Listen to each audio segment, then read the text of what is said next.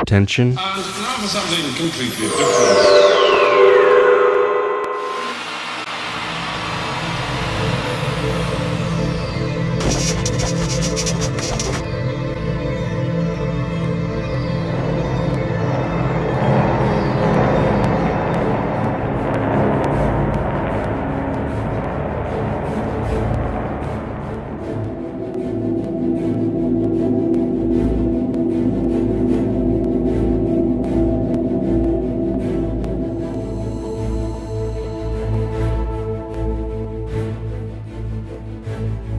Attention.